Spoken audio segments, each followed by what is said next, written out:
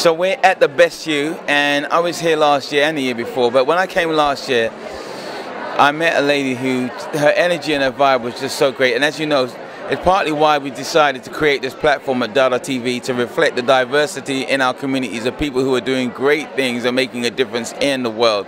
And it's all about impact. So I was so glad when I found out that the same lady is here this year. Really committed, really passionate, came all the way across the waters. I'm glad to say, glad to have you here, Thank Sonja. you. Thank you so much. I'm glad to be here. Like last year was a little different, of course. I was getting exposed to London for the very first time. Oh, and the best year that was my first time last year.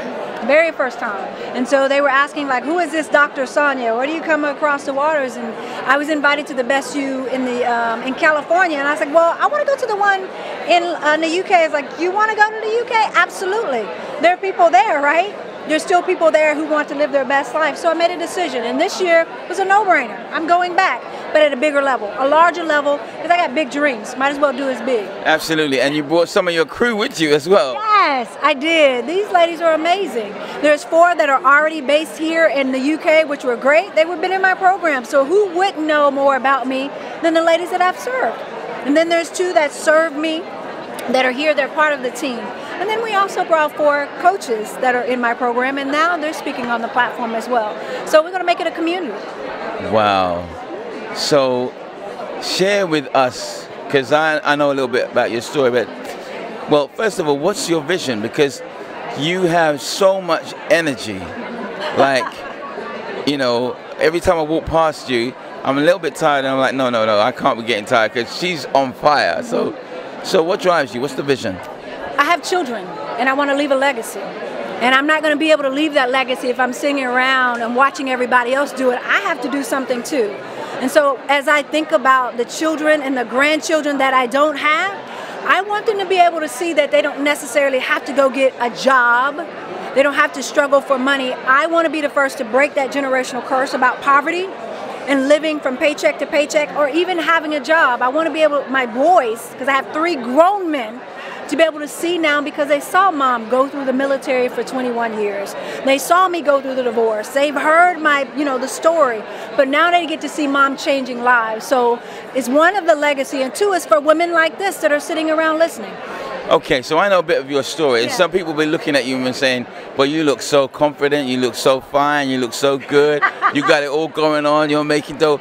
But it always wasn't like that, was it? And and you know, so where was that? Where did you start from? Just because I want the women to really connect with. We're living in a time when anything is possible. I started on my death couch, not deathbed. Now, four years ago, I was in a place where I wanted to take my own life. It just wasn't enough. You know, I'd served in the military, and I just wanted more. So when people say, "Oh, you seem so confident," but what they don't realize, four years ago, I wasn't. I was still questioning who I am. Am I enough?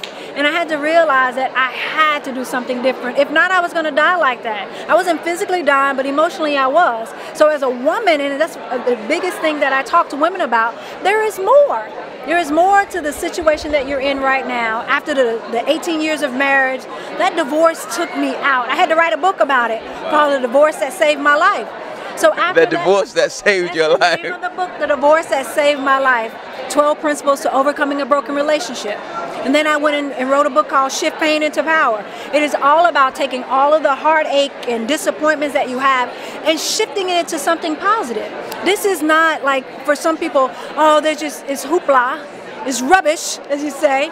But it's not rubbish. This is life. I do this like I need to breathe, and that's what I teach. You got to have some passion about what you want and a purpose in life to be able to get to your next level. That's what it's all about. And what I'm hearing you say, so my spiritual mentor talks about pain does not define you.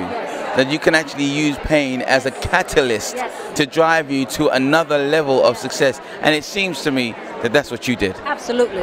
I call it shifting pain into power. But power is not the traditional meaning. Power stands for possibilities.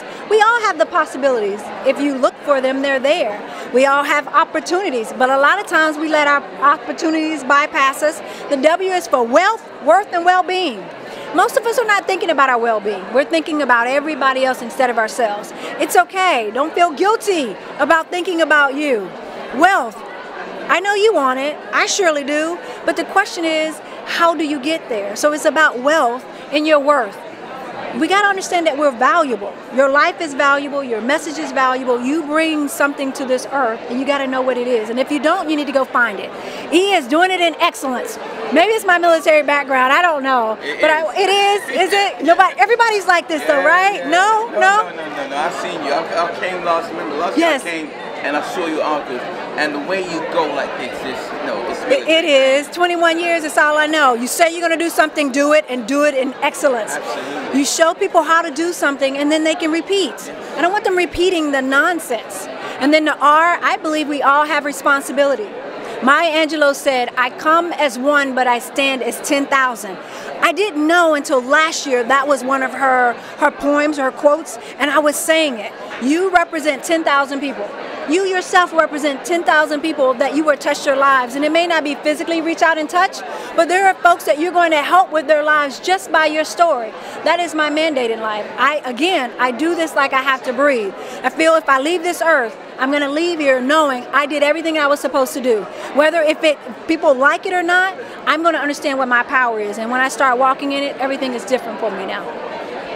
Wow, wow. And people can literally, I can literally feel it. That I know, I yeah, yeah. So we just had a, we just had a little ESP moment where we had a conversation yes, yes. between us without speaking, right? And we were like just high Looking five. for the chair, and I looked over there like, "How did you?" I saw the chair over there. It was like it, a conversation that would normally happen about five or ten minutes. We did it in a couple of seconds. in our heads, Yes, eh, absolutely. telepathy. And you know, that's what I love about this time because truly I believe that, and I'm experiencing that there is a new season upon the earth. And those who understand what time it is, real recognize real, because that's what we did when we met. And, and so immediately, even though we only just met, Uh-huh. we can have a conversation that's familiar and it doesn't have anything to do with the ego. We can just Yeah. get on and have that conversation. Power recognizes power, though.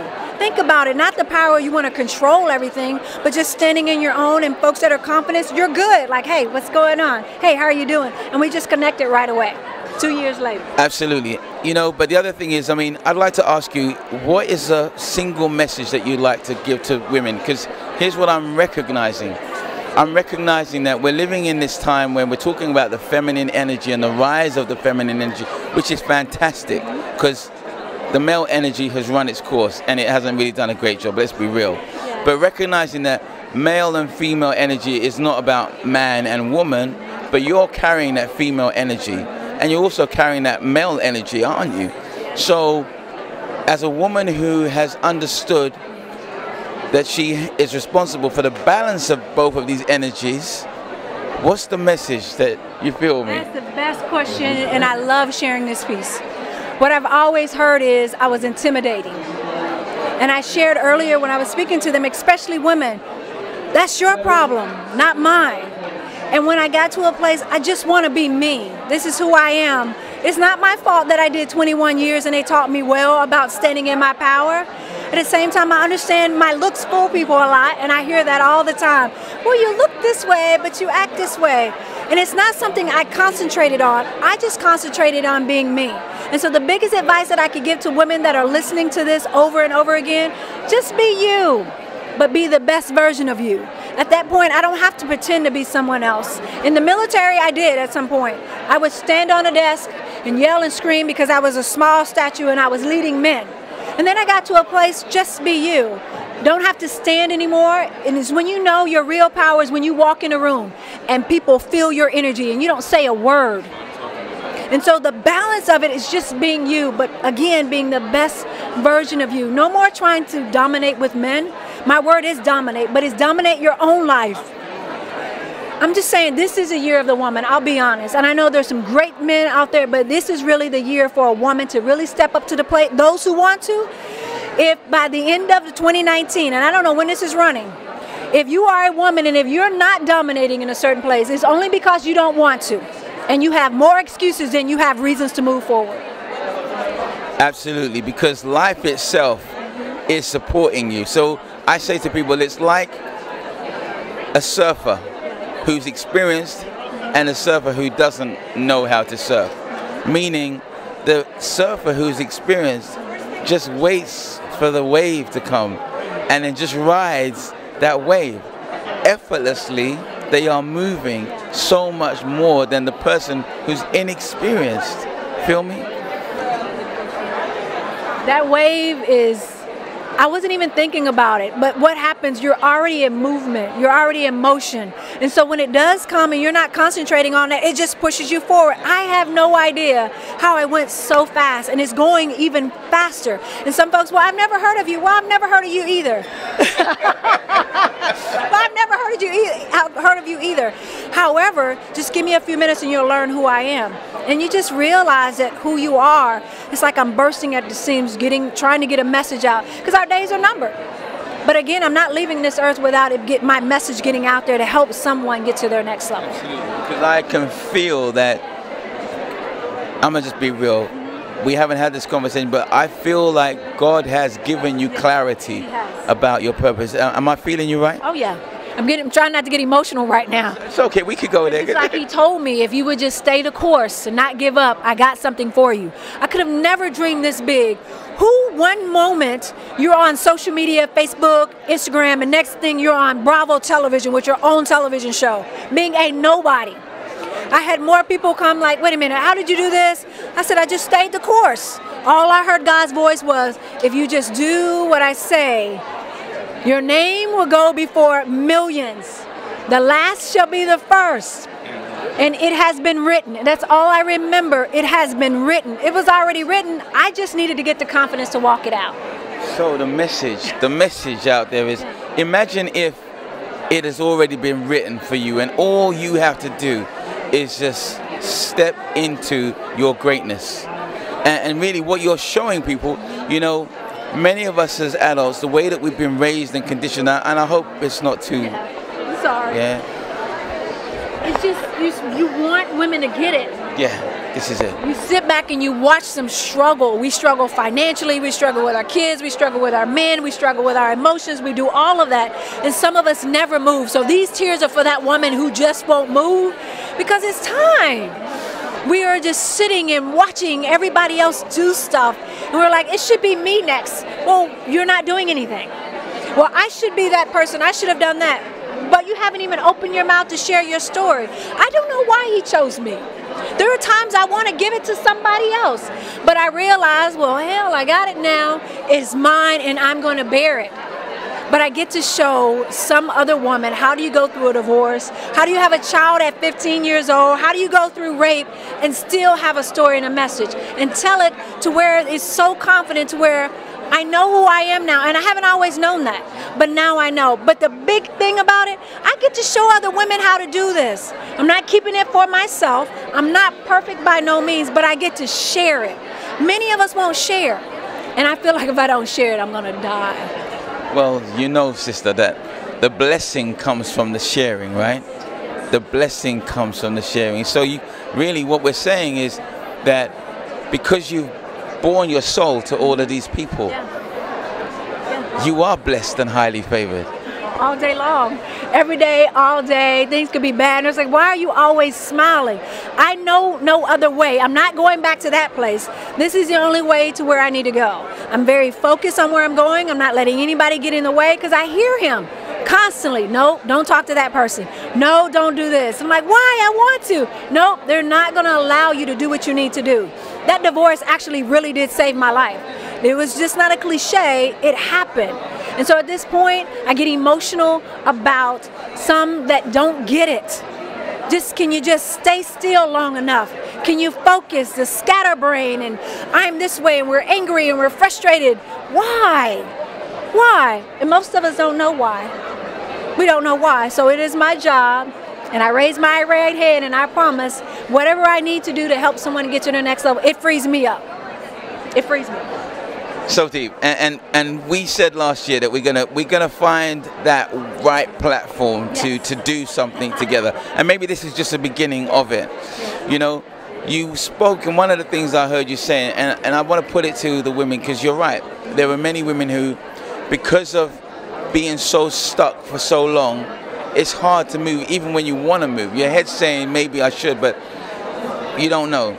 But you talked about even if you don't know what to do, then at least get yourself a mentor. Yes, exactly. When I heard you say that, I was like, And I know even saying that, people still won't get it. They'll be Yeah. thinking, Yeah. oh, that's what this is about. Yeah. They're trying to get some business from me. And it's not about that. You know, one of the best ways to move your life forward, if you don't know how to, is get someone in your life who you know, like, and trust, and they've got the experience to demonstrate that where you want to get to, they're already there. Yes. And people always ask, uh, who is the person if you that influences your life? And I'm going to say Oprah, not the traditional reasons, because I felt like there's someone. I had to fill her shoes, but it's a next generation. Who will it be? And I said, why not you? And I like, no, no, that's too much responsibility. So my question to her was not how you made billions. It is how did you deal with so much power? She said, I really didn't know until I start doing it. So you don't realize who you are until you're on your way up. At this part, I was like, ah, it's okay. But as I begin to do things differently and think differently, I started saying, well, maybe you have something. So I'm very cautious about who I spend my time with, who I talk to, even the team that I specifically picked my team that came. It wasn't like I need somebody to help me. I picked eight, what is these six people that came, and then the other four that came as a speaker here. Very specific.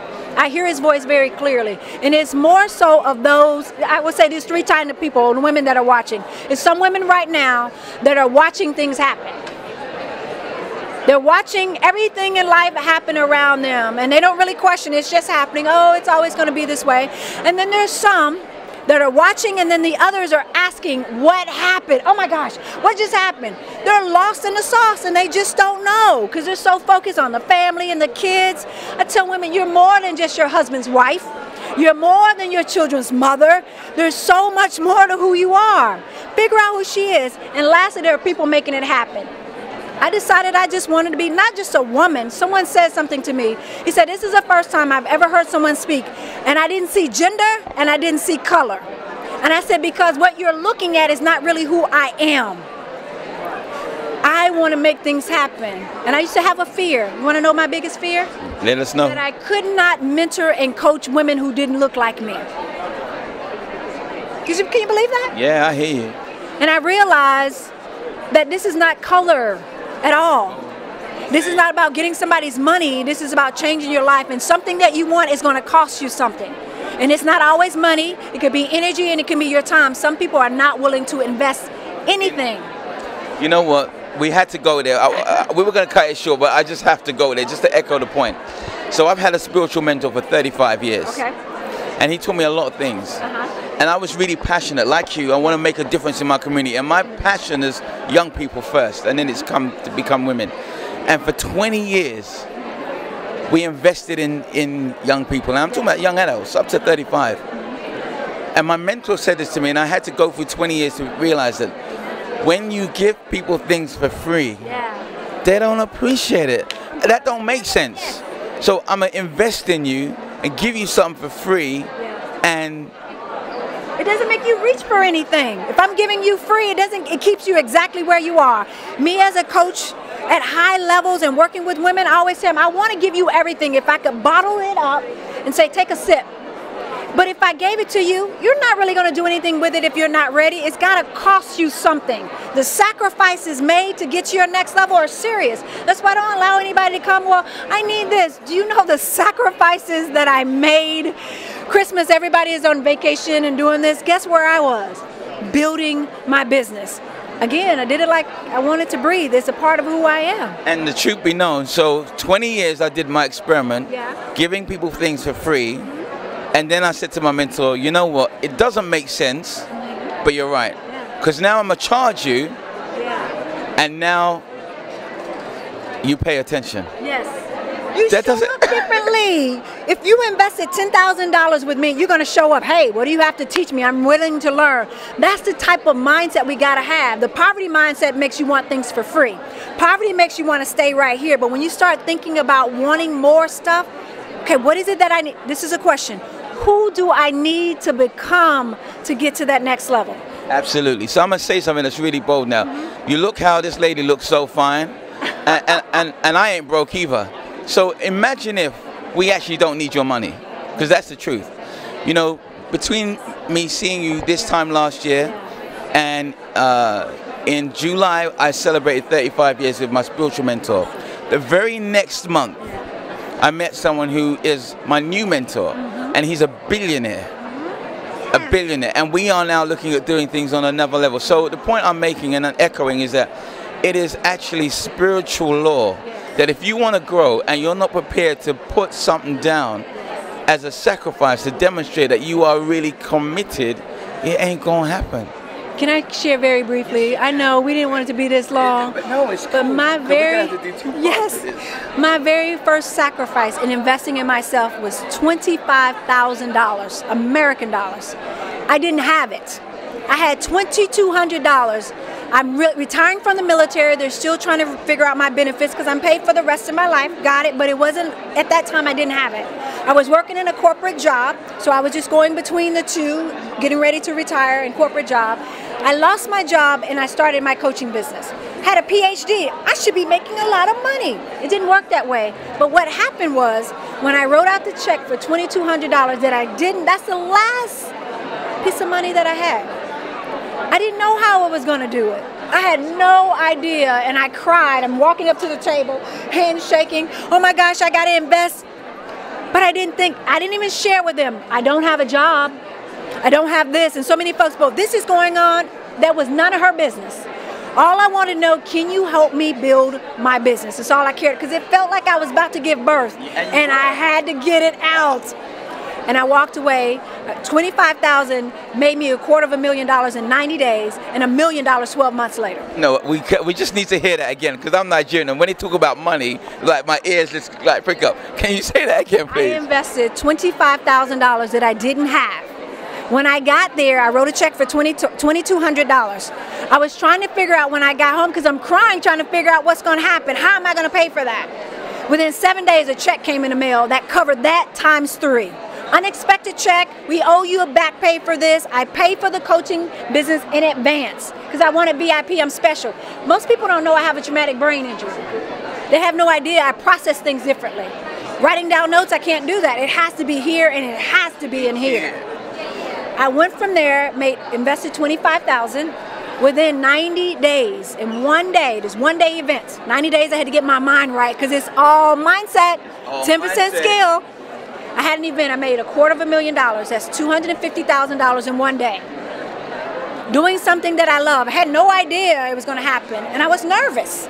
A quarter of a million dollars in 90 days. Within 12 months, I had made a million dollars. Just coaching about my life. How crazy is that? Ah, that's crazy. Who would have thought? Now, it wasn't even a business, it was a hobby at the moment. And I was like, wait a minute, hey, this may be real. and then it began to grow and beginning to get international clients. I'm saying this not to brag, I'm saying this for someone who's trying to figure out their life. Can I look in the audience? Because yes, I'm about to do it. Trying to figure out your life and what it is that you're supposed to be doing, figure it out as you go. Don't sit there and I got to think about it for a minute. Do it now. There's no better time now to be a woman than now. Wow. So, I ain't a woman, but hey, but I, but, right now, huh? but I've harnessed my feminine energy and I know how to use it, and, and you're absolutely right. And I just want to echo one point. You see that story that she just spoke about? There's a one word that really describes what took place there, and that one word is a demonstration, not a speaking, a demonstration of faith. Yes, absolutely. That was it. Are you a product of your faith? Are you a product of your faith? Don't make me go there. Yeah, go there. I hear so many people say, oh, they believe in God or a higher power. But if you know who He is and you understand the Word, there should be some seeds that you planted, but there should be fruits falling from that tree. And a lot of times there's no fruit. Oh, we believe and I'm just I'm just waiting on God. No, you're not. You're waiting so you're not scared anymore.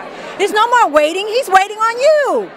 And once I realized he was waiting on me, all I needed to do was move and take action. And now I understand when I declare a thing, it shall come to pass. Wow.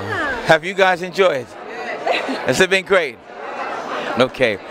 A round of applause, I think so. So we're going to work something out yes. and, and stay connected. Sure. Uh, I'll be back quite often. Well, we're going to make something. We're going to stay connected. So for now, we're going to edit this and we're going to put this on Dada TV. And so I just want to say thank you so much for making the time and making yourself available and pouring out your soul in a real and meaningful way. So listen, I- am just so honored right now to spend some time with you. Me, Tony Dada, and Dr. Sonja from Dada TV. Stay connected. Till then, next time, love time.